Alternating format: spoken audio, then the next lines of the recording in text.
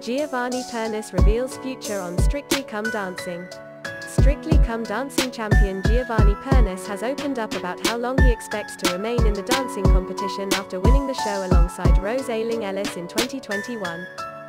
Chatting to reporters at the BAFTA Awards on Sunday, the dancing pro opened up about his future, and it looks like he wouldn't be going anywhere anytime soon.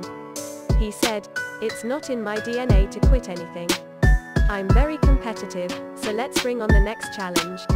Several of Giovanni's co-stars have left over the last few years, including Pasha Kovalev, Oti Mabuse and Kevin Clifton, with Aljaz Skorjanec being the latest professional dancer to announce plans to leave the show. He released a statement back in March confirming the news, writing, On a beautiful sunny day in May 2013 one phone call changed my life forever. It went like this. We would like to offer you a position on at BBC strictly as a professional dancer. A dream became a reality and it was the biggest opportunity for a 23-year-old boy from Slovenia. It didn't matter how many beautiful ballrooms I performed in during my competitive career, stepping onto the sacred Strictly floor was the most nervous I had ever been. A little while ago I made the tough decision that Strictly 2021 would be my last.